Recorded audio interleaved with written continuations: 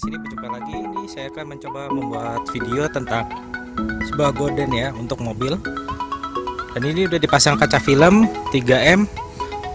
Untuk videonya bisa dilihat di deskripsi. Nanti akan saya cantumkan. Nah kita lihat kode luas seperti ini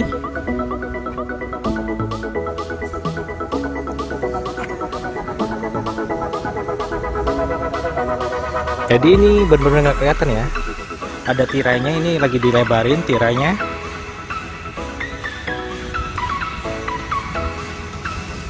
Dan ini juga sampai belakang. Ini untuk Innova. Kita lihat bagian dalamnya. Bagian dalam seperti ini. Nah kalau dipasang seperti ini ya. Langsung copot nih jadi ini bisa didorong dan nanti bisa diikat dengan pakai ini pengikatnya jadi ini ada dua rel atas bawah untuk satu jendela. Dan ini tampilannya untuk yang kita saya buka dulu biar kelihatan. Nah seperti ini ya tampilannya. Ini kalau dari dalam tampilannya seperti ini untuk belakang dia dapat dua karena panjang kaca belakangnya. Jadi biasanya ke kiri dan ke kanan. Dan tiap uh, tirai dia mendapatkan ini ya. Pengikatnya yang bisa diikat seperti itu. Nah untuk yang depan sosial untuk yang depan ini. Yang depan dia tidak full jendela nah ini kita coba lihat ya. Ini biasanya seperti ini. Jadi manual ya Mas Yan karena ini untuk bagian depan dia menggunakan ada spion jadi tidak full. Jadi ibarat 3 per 4 doang.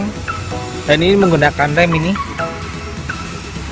Procat 3M ini juga ada pinggirannya. Jadi seperti ini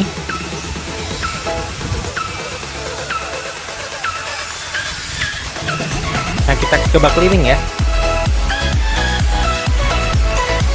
Untuk melihat Contoh hasil dari kaca film dengan Gorden.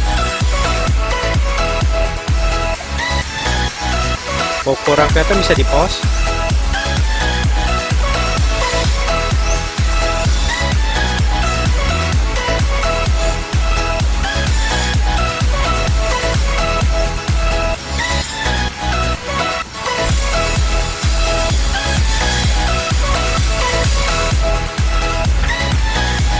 jadi masih kelihatan tuh cuma dikit ya kode di depan. Di luar. Nah sekilas review saya tentang gorden ini. Jika anda suka dengan video ini silahkan like dan subscribe. Terima kasih